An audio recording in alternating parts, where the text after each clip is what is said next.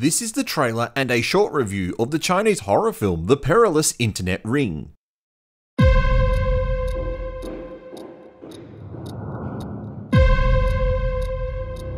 你有没有看过一本书？残星楼，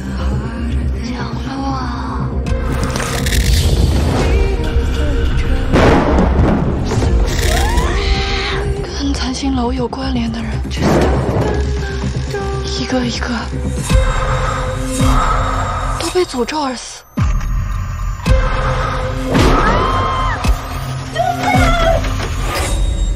被诅咒的网络小说，关于最后的篇章，你看过吗？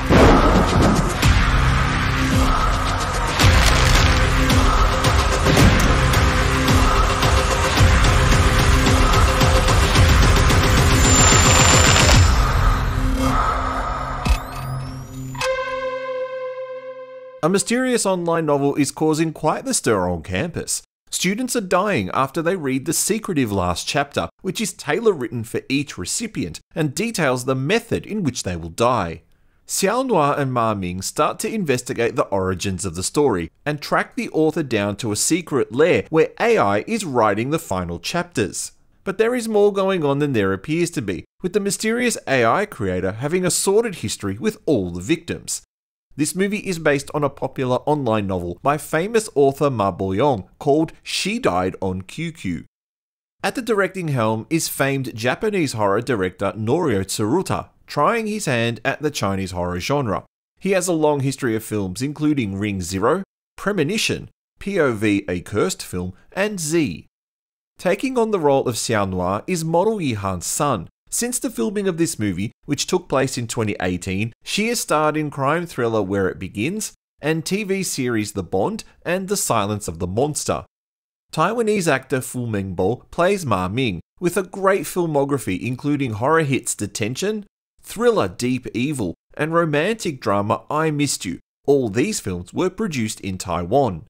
And finally, Chinese horror actress Mu Ni from decent Chinese horror film The Haunted Road, the House of Confinement, and the truly horrible Midnight Whisper.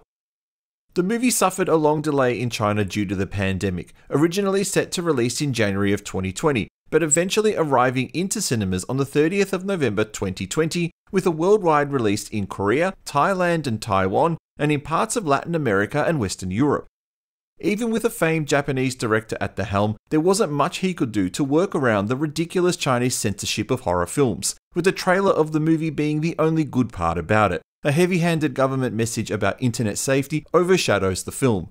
Using our patent pending ghost rating, which stands for great horror or stupid trash, I award this film just one ghost. Wooden acting from Lee Yihan Sun just compounds the issues with the film, which is unfortunate as it has great special effects and some thrilling moments. It's not even an almost film, it's just a nowhere film. Thank you for watching this video. Please like and subscribe to We Love Asian Horror for more trailers, news, and reviews of Asian horror films.